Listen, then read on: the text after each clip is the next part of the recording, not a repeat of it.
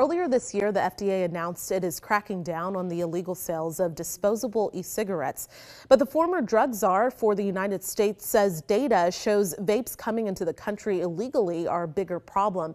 Araceli Hernandez sat down with the ex-director of the National Drug Control Policy for a closer look at the feds cracking down on vaping and the Texas law cracking down on kids using them. Is the FDA doing enough then to stop these devices from coming into the country or to get them out of the hands of kids. Now, the FDA has started the process, but sadly, what I'm concerned about are the number of kids that are dying until the FDA takes more aggressive action. And quite frankly, until stores stop putting this on their shelves. The government needs to step in. The government needs to get these devices not only off the shelves of stores, but they need to block these disposable vaping devices coming from China from even getting into our country. These disposable vaping devices, if they're coming into the country illegally, we have no earthly idea what's in them. Not only is nicotine in it, at dramatically, we're talking 10 times higher than a cigarette or another vaping device.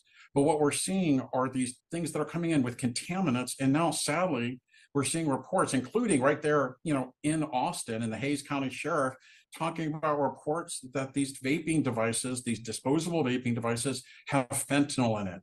Um, Jim, I want to ask you about this new state law that lawmakers just passed out of the Texas legislature. And what it does is penalizes students who are caught for the first time vaping and sends them to alternative school. What do you think about that? Yeah, sadly, I don't think that kids necessarily understand the dangers. Um, and I certainly, you know, believe that we need to take aggressive action to make sure, you know, that these don't wind up in the hands of kids. But kids don't understand the dangers. I mean, when you look at the way they're marketed and you see cartoon characters and they're sold in, you know, crazy kid flavors, you know, tutti frutti and all these, you know, things that are really designed to attract kids, kids don't understand, you know, what they have. And so the most important thing is messaging because these kids are carrying around a product that they don't even understand that it's dangerous. And with the new law, they don't understand, you know, that it's something that could really penalize them.